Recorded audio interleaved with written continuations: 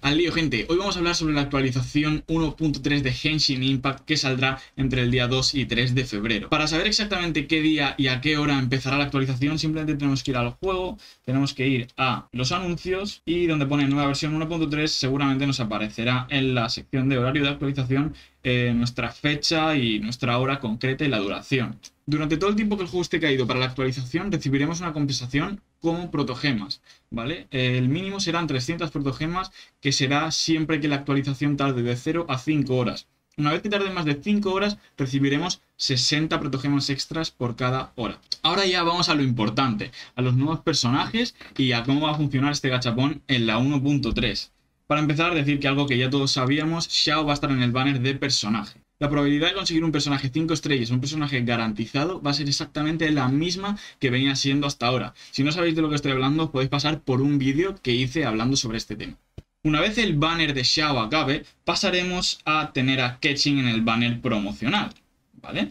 Que estará desde el día 17 a las 6 hasta el día 2 de marzo eh, a las y aquí viene la gran novedad, y es que nos ponen una nota en rojo como para destacarla, donde pone, durante la versión 1.3 habrá más gachapones de personajes disponibles. Estad atento a las últimas novedades. ¿Qué quiere decir eso? Lógicamente, dentro de un mes no van a sacar otro parche. Por tanto, nos están diciendo que una vez que acabe Catching, van a meter algún otro personaje promocional. Y no nos están diciendo el nombre. Todos sabemos, chicos, que mucha, mucha gente quiere que saquen a Hu Tao y yo creo que precisamente si no nos están diciendo a quién van a sacar, va a ser porque van a sacar a Hu Tao. Si no, no crearían esta expectación y no nos harían pensar, hmm, ¿a qué se estarán refiriendo? No nos dejarían con la miel en la boca. Por tanto, yo creo que casi de forma indirecta nos están confirmando 100% que después de Ketching vendrá Hu Tao.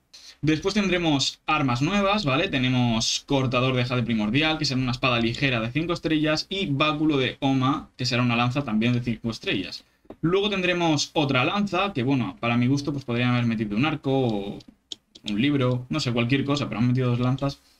Pero bueno, mm, no lo juzgo. También entiendo que quizás esto puede ir un poco de la mano con la salida de Xiao y que mm, Xiao pues su arma es una lanza y por tanto pues hayan querido darle más protagonismo a las lanzas en esta, en esta versión.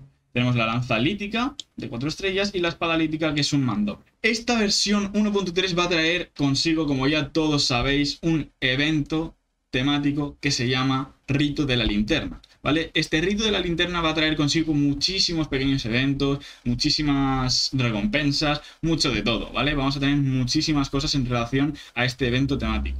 En este vídeo no me extenderé demasiado sobre cómo van a funcionar los eventos respecto al rito de la linterna, porque hay muchos, porque hay algunos que no saldrán hasta dentro de unas semanas, entonces puede que haya algún cambio. Eh, tampoco llega a estar del todo claro cómo va a funcionar o cuáles van a ser las recompensas exactas, entonces prefiero reservarme esta parte para cuando tengamos más información o lo podamos comprobar in-game. Lo que sí podríamos destacar es uno de los eventos que se llama A tu lado me siento seguro, que empezará el día 10 de febrero a las 10 de la mañana y que en este evento podremos conseguir un personaje de 4 estrellas del Liyue a nuestra elección. Entre nuestras posibles elecciones se encuentran Xianlin, Xinyan, Beidou, Ningguang, Xinqiu y Chongyun. Bueno, aquí hay una nota que dice que solo podremos conseguir uno de ellos y una única vez, por tanto pensad bien a quién vais a elegir. Y bueno, por último, quizás también destacaría este pequeño evento, que sería los de inicio de sesión, en los que nos van a dar un total de 10 destinos entrelazados. Ojo, cuidado porque no nos van a dar los 10 para el banner de Xiao. Si nos fijamos en las horas y las fechas, vamos a ver que justo, justo, justo en el momento que nos tendrían que dar la última recompensa, que precisamente son 5 destinos entrelazados, se resetea el banner, o sea, el banner ya no estaría disponible, pasaríamos a tener el de Catching. Por tanto, para Xiao nos van a dar 5 destinos entrelazados siempre que nos conectemos todos los días. Bueno chicos, eso ha sido todo por hoy. Sé que me dejo algunos eventos, algunos cambios, sé que me dejo algunas cosillas, pero en este vídeo me quería enfocar en lo más gordo y en lo más top, en lo más importante. Así que bueno, me despido ya. Espero que os haya gustado mucho el vídeo. Si ha sido así, dejad un like. Estoy subiendo vídeos de Henshin Impact todos los días. Así que si os gusta mi contenido, os podéis suscribir. Además, os recuerdo que tengo un Twitter y un Twitch que os lo dejo en la descripción. Por si me queréis seguir para estar al tanto de, bueno, pues cuando estoy jugando en mi tiempo libre y estoy charlando con vosotros. O simplemente para leer las ideas que voy teniendo en mente para hacer en el canal. Eh, tanto de Twitch como de YouTube. O si queréis hablar conmigo para cualquier cosa. Nos vemos en el próximo vídeo. Chao.